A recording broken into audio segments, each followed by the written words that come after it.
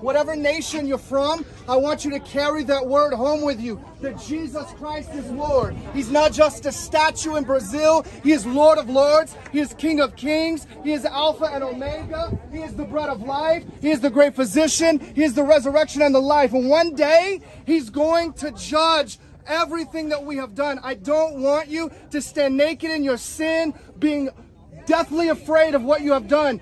Jesus paid the price so you don't have to. He lived and died a perfect life as a sacrifice for sin, as a ransom for sin. The blood of Jesus can cleanse your sin away. You don't have to do anything but believe in what he has done. You will never be good enough for God. So just humble yourself in his sight and he will lift you up. It's that beautiful. It is a message of love and redemption that we were born into sin, separated from God, but through the love of Jesus, we are reconnected to God.